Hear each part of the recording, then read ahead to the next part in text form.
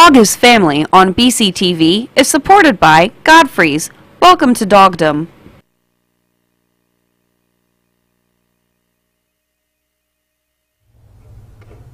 Hi, thank you for joining us on the show Dog is Family, where we celebrate the bond between people and their dogs, where we look at all kinds of topics in dogdom and we bring you interesting ideas and research and thoughts. And we just want you to do a little more critical thinking about all that we can do and be with our dogs. Tonight we have one. My name is Barb Emmett. Let me introduce myself, and I'll be the host for this next half hour. And I'm a dog mom and the proprietor of Godfrey's Welcome to Dogdom. And I have a guest tonight that I'm thrilled is back with us. We haven't seen Denise for a while. Hi, Denise. Hi, Barb. Good to be back. I know it is. We always love having you here, and we really needed you for this topic tonight. Denise is a certified dog trainer and with many, many years of experience, and she has a dog at home who is Six. Six! Miss Tilly six. We did not bring Tilly tonight, but you're going to see some really fun, interesting videos about the topic that we're going to be talking about. Uh, some of the things that we will introduce you to over these times, and you've probably seen previous shows, we talk a lot about nutrition because when we're talking about our dogs and what we want to do and help them with, one of the best ways to do that is through the foods that they eat, and it can affect their behavior as well as their longevity and their health. So, in the dog food nutrition area, there's always so many trends going on in what's coming up with foods. And luckily, uh, a lot of the latest trends are going all in the right direction. It doesn't make your job any easier, though, to sift through the information on what's really good and what's really going on. So, you can see tonight we've got like a little kitchen here in a way which we're going to be talking about preparing some of the commercial foods yourself. And we're going to be exploring how, how they work. And it, and it, might look very different to you. I hear comments all the time that people have no idea that there's different ways of feeding them pouring dry kibble into a bowl, dry dog food into a bowl, which started in the 1930s. But we're all, there's a trend that we're going back to whole foods. That we're going back to saying, whole human food is a really good thing. So here's something that's going to be in the middle. Let's start the slide presentation. I want to give you some background information and you may want to take some notes on the trends. Uh, that we are going in the right direction. It's part of our Good, Better, Best series that we've done before. You are what you eat, and that holds true for your dog too. So, what we want to look at, one of the first things, is these whole food dog mixes, which is what I'm going to show you. I'm going to ask then that we look at this. You're going to see products out in the market that are freeze dried or dehydrated. What's exciting about all this is that they're whole foods. The trend is non-GMO. That's a big buzzword, and it's it's coming right through with our dog foods. U.S. sourced and made here. And what we're finding is better disclosure of ingredients in your dog foods. Our consumer base of people is asking for that over and over again, and better manufacturing controls. You're going to see things like quinoa, chia, flax, and lentils in dog food. Don't let that surprise you. Interesting ways to add better quality ingredients. Also, we're seeing unique proteins always when you've talked about an allergy diet, they want to suggest that you feed an alternative protein. Now we're seeing goat, which is fed throughout the world, as a protein source that can be hypoallergenic. Uh, bison, rabbit, pheasant, plus your regulars, your chicken, beef, fish, and some where the mixes you add your own protein. And there's two different kinds. We're going to take a look at these in a minute. You mix them up yourself you can mix them up yourself and there'll be a wait time and it's very different on all these mixes. So we're going to talk about that and the consistency varies. Some of the names that are out there that are doing these products in better ways are The Honest Kitchen, another brand is called Sojourner Farms, Bravo Homestyle, and Grandma Lucy's. The other way you can buy these products is as patties or niblets in a bag, and it's really good as a food topper um, if people don't want to move that whole way. So let's take a look if we can show the folks what some of these look like. Um, in this case, this one is a Bravo product. It is a freeze-dried product and it is pork. Again, a, a, protein that is easy to digest for dogs. Many people don't know about pork as a white meat source, not the dark meat and certainly um, and less fat. But if you really take a close look at what this looks like, you're seeing the meat, the potato, and the green beans in this, and some other whole products. That's all it is. This is one that is much more powdery. This is from the Honest Kitchen. What they have done is dehydrated it and it is actual product in there. It smells really good when you mix it up and it's finer so the hydration time does is much less. Now we'll, we'll take a look at what these look like after I hydrate them. This is another product that takes 15 minutes to hydrate from Sojourner Farms. And you can see when you um, freeze dry and dehydrate, the whole food is in there. You actually see everything you're looking at. Um, you know, all the ingredients that you see listed, you're going to see in the food. And then this is one of the patties I talked about. And this is freeze dried. So it's a complete meal for dogs. You can um, people like to use these as toppers or simply um, just trying to move better whole food into the dog's diet. And this can be hydrated, broken up, and added to water and added to the food. So these are some samples without hydration. We're going to hydrate that one. Denise tells us how we should be dealing with all of this while our dogs are very, very hungry. And let's look at then when I talked about how we're asking food companies more and more to tell us where they're getting all the ingredients, this slide I'm showing you here is the whole food mixes. Now the detail's not quite as important as the concept really, but whether it's freeze-dried or dehydrated, the trend is for reputable and really good companies, which are typically your small companies, to tell us where every ingredient comes from. And in this case, um, Costa Rica has the bananas. Peru has the quinoa. They're known for producing this complex protein. Uh, Brazil has the papaya. Australia has the goat. They're in full disclosure of where everything is coming from and the domestic ingredients then as well. So that just gives you an example. When you're looking at doing something different for your dog, the company you're working with should be able to tell you where every ingredient comes from. And that is a big trend right now. When we think about canned food trends going on, and this can be for some of these, the points will be typical for, uh, for the dry food too. There's a controversy about canned food liners, whether it's for people or dogs. We want them to be BH, BH, BPH free um, because it's been linked to some estrogen um, and effects of our hormonal system if leaked into our foods that are in cans that have BPH. So in 5.5 ounce dog food cans, better companies are keeping them BPH free. Big trend, it's going to keep coming. Low glycemic index foods in canned foods, as well as the dry. Uh, and this is very important because we have an obesity epidemic for our dogs as well in this country, just like we're having it with people.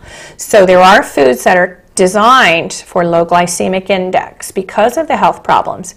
A brand is Merrick and another brand is Signature that does canned foods for low glycemic. What you're also seeing is 100% organic ingredients in dog food, 100% USDA organic. Uh, one interesting one is called Cocolicious by Party Animal. Now that's a fun name, so we can kind of get behind that. It is certified organic and it uses coconut oil in the food. And also better and novel ingredients, more meats, less fillers. You're looking at unique protein sources like kangaroo, bison, and rabbit. And some of these canned foods you have to be very careful when they're when you're looking at different ways to feed. Some are strictly a meat and a bone addition to a food. If dogs are watching the protein that they're eating, you have to be careful with what they're having. Sometimes just toppering that with a ground meat and bone is excellent for them, but you have to know on the can that it's not complete and balanced according to the AAFCO requirements. So some exotic meats are out there like pheasant, duck, and rabbit. And for fussy eaters, older dogs that are having trouble eh, being interested in their food, these type of toppers they're whole foods. To be feeding them is a good idea. Read labels, know what you're buying and who's making it in any of these cases, but these are some trends going on in the industry today. The pet industry is a very active business right now. So we're seeing what's happening in the human world is trickling right down through our, our dogs and cats' food. Here's another interesting one these kind of products are being added to foods as well. Now, it's called the Doggy Supplement Guide. It's by someone that I do follow, Rodney Habib. He's a pet nutrition blogger. He calls himself the irreverent dog lover blogger. He does some very interesting videos and topics, but he's we're looking at this as whole supplements if you're adding it to the diet. And there's many reasons and research behind why people are looking at curcumin, turmeric, fish oil, spirulina, raw honey, chia seeds, wheat germ, milk thistle, cleansing the liver, green lipped mussels, glucosamine, of course, and kefir. So you're seeing these types of supplements as whole supplements. That's how I want to see them. What you have to be careful of and start watching is that in the commercial foods, some of the bigger companies are adding a tiny bit to say that they're actually helping you with your omega 3s in a baked dry product. Where if these are fabulous supplements, but best known and used as whole supplements. But you will see this trend; it keeps coming. Um, every day, there's there's just a new product that's having some of these products and supplements in the diet. More to think about in these trends coming up in the food pet food industry. One of them that I still seem to surprise people with is rotational feeding. Mix up your proteins. Healthy dogs can handle and should be exposed and eating different types of proteins as long as there's no vet restrictions and they don't have stomach issues or all kinds of other health things going on. A rotational, interesting meat protein diet gives them different profiles for the meats that they're eating. We don't eat the same thing every day, and neither really should they be. Now, you need to be careful if you're mixing it with types of foods, but just keep start, you know, start thinking about mix thinking about a rotational meat diet and always use some reputable sources for information that challenges the conventional wisdom of nutrition because these folks are leading the pack and they're doing it very, very well with a lot of research behind them. Again, um, you might want to jot down Rodney Habib, the advocate, the pet nutrition blogger, and his website is there. Dr. Karen Becker, she's an integrative veterinarian who does a lot of wonderful educational programs about nutrition and foods and supplements. Dogs Naturally magazine has really been changing the world, and I will say that because they're having people wake up and look at what's going on in the areas of nutrition. And Dr. Demian Dressler, who is a uh, veterinarian who has really specialized in the dog cancer diet and how to add supplements and what to do when you're doing supplements and cooking and moving more towards whole food. So again, you're going to have to be your dog's best advocate. You need to be proactive. You got to sift through the latest hype, be an active learner, get great information, but please know that there are more foods out there. And of course, always discuss any changes you're making with your veterinarian. Um, but let's take a look at, the, again, some of these products. Um, what I'm going to do is add warm water, which is how we're going to hydrate. And also, before we do that, we can just eyeball some of these organic, some of these canned foods. Some products are actually human grade, made in a human grade factory. They're real meat. You've got to be very careful about what's in food. So this is just a nice sampling, but what I'm going to do is follow the directions for each of these foods. I'm going to hydrate, and we'll see what they look like after we add the water. After Denise tells us, my goodness, we're doing food mixing. We're not just pouring kibble. How do we get our dogs to wait for mealtime? So in your house, is it meal mania or is it meal madness or meal manners? Denise, can you help us with that? I'll do my best, Barb. So, excuse me. When it comes time to feed our dogs, um, manners, mayhem. Which do you have going on in the house? Um, the mealtime can mean lots of different things for dogs. It can be a time that they're getting a lot of really good stuff that they like for free. They're very excited. Um, lots of times we don't actually make our dogs do anything for their meals. So um, they're just really happy and excited. Yay, I'm getting all this great, delicious stuff. Lots of times meals come soon after our dogs have been absent from us whether that's breakfast where they've been asleep overnight and they're excited to see us, or dinner, maybe we've come home from a day at work and now we're feeding our dogs. So we have that added excitement of we've haven't seen our person for a while. And then um, depending on the food and the dog, it can be a huge high value reinforcer that your dog is getting for whatever behavior is going on when you feed them their meal. Some dogs don't care too much about their meals. Um, free feeding, Maybe they're not too interested, maybe they're overfed. With a lot of the foods that Barb is showing now, you're not going to do free feeding. It's going to be a, a mealtime thing for the dog. So if we can go to the video here.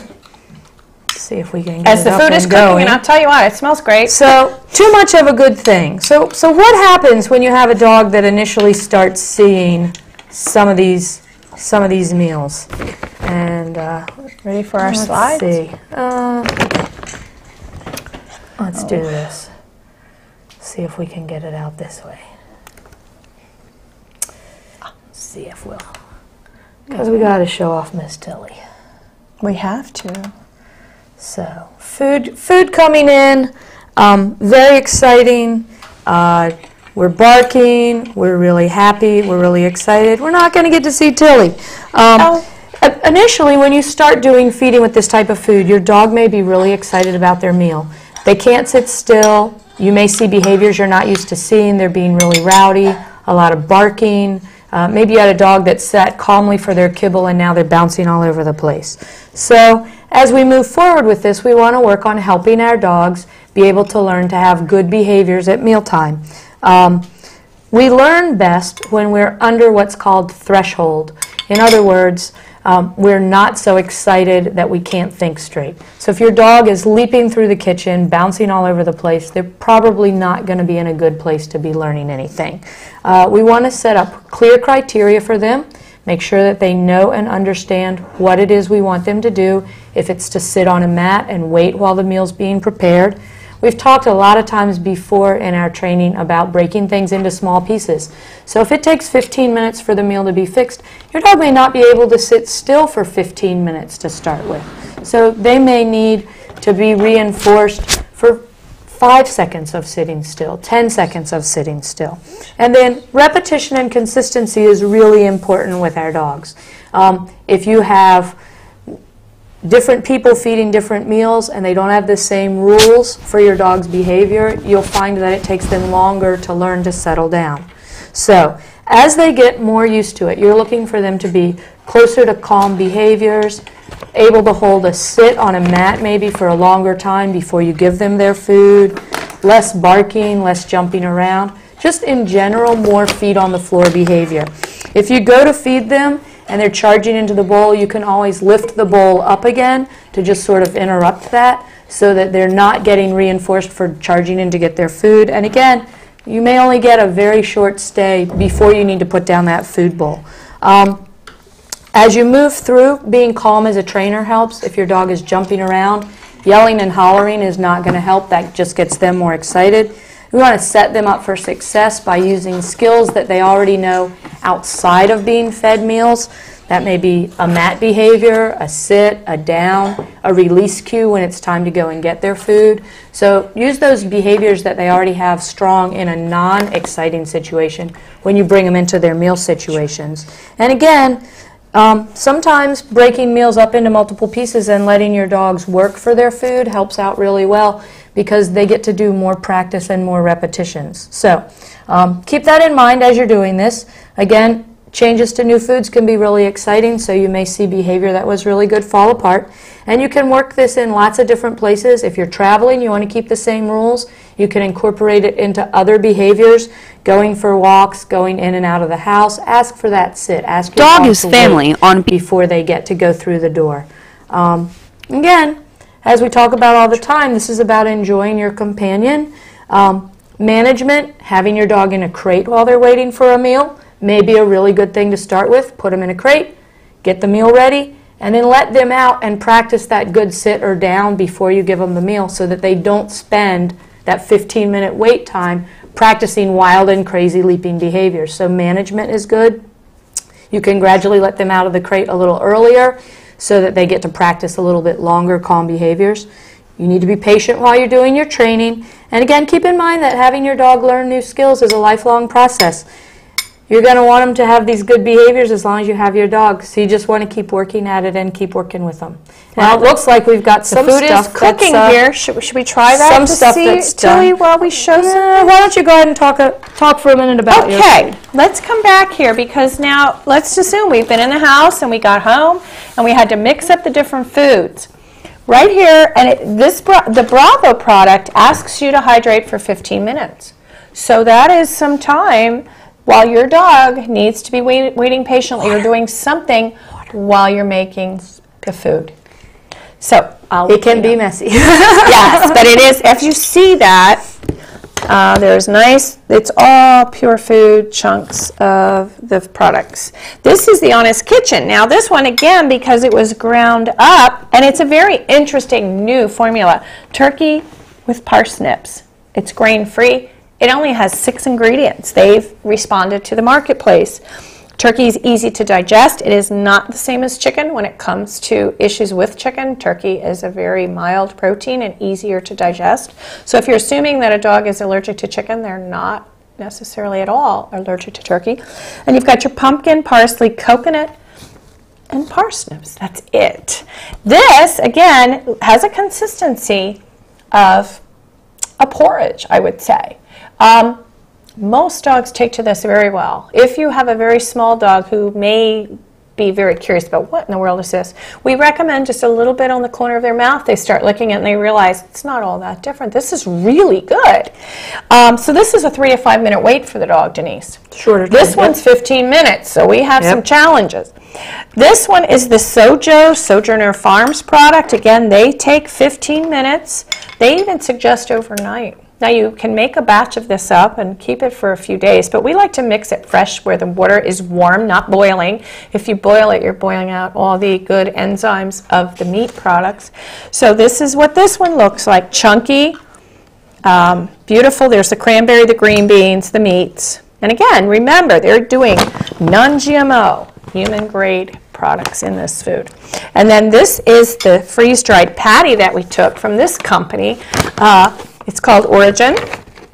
And breaking it up, putting it on the foods, we're getting more whole food. So if you're not feeding a complete meal of this, you are topping the meals with this. The smell is great. I know we can come in the kitchen and it smells like we've been cooking.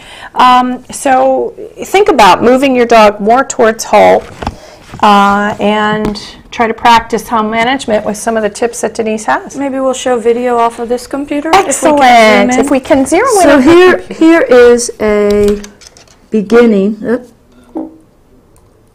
Here is a beginning, starting to work on behaviors at mealtime. Can we capture that? If we can get this at all. And as you can see, too much of a good thing. She is so excited. She cannot. I say she she can't stay in her body. She's just leaping all over the place, spinning in circles. You made your. There's your a dog? mat that she usually sits on. You just saw the rug. She can't. She can't even sit on the mat. She's so excited. It's very just. happy. It's absolutely impossible. And what we're shooting for down the road is something that looks more like this. And this is this is the same dog, same kitchen meal prep. The difference is that we've been working on this for several months at meal times, gradually increasing the amount of time that she needs to stay still. And at this point in time, she just knows her job is to sit on the mat. There's not a cue. She's making a choice because she's learned sitting calmly is what makes the food appear. And so she can now sit there and be calm while food is being done. You'll notice uh, as I I move through the kitchen in a minute that she is going to just get up and walk around, do a little sniffing. The leaping is gone, the barking is gone, and we really have a much more pleasant, maybe not quite as entertaining, but a much more pleasant, calm mealtime. And she's a much calmer dog, so she's in a much better place to be eating. She's That's relaxed true. going into having her meal instead of all excited and revved up. So again, little pieces, set your dog up for success. If you need to crate them in the beginning to help them out, go ahead. But we're really looking to help them learn to approach mealtime in a calm way. That's excellent. I'm so glad we got to see Tilly, Denise. right.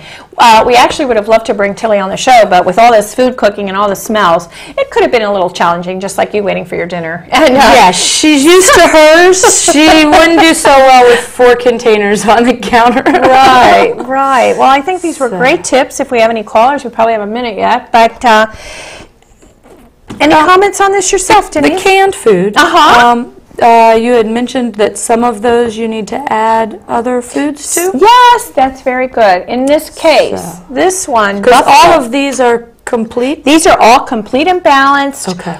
all of those in the can are complete and balanced. You're looking for the statements on the back of the can, and, and you can't just always judge by the ingredient panel, but um, typically you'll, you'll figure that out. But it will say complete and balanced diet for dogs. It must say that. It, that is a label requirement.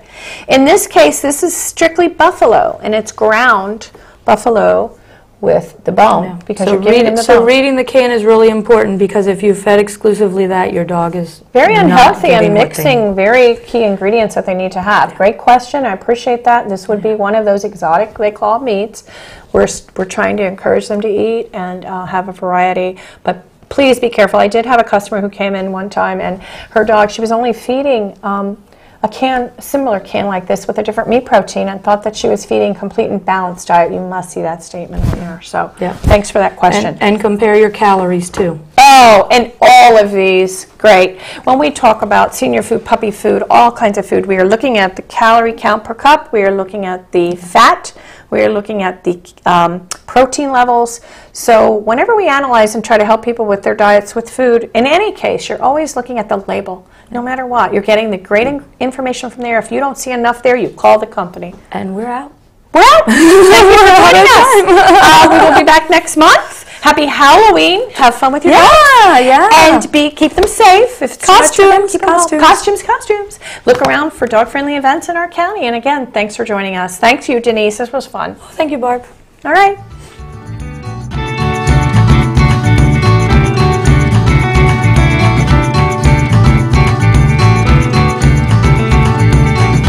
Dog is Family on BCTV is supported by Godfrey's. Welcome to Dogdom.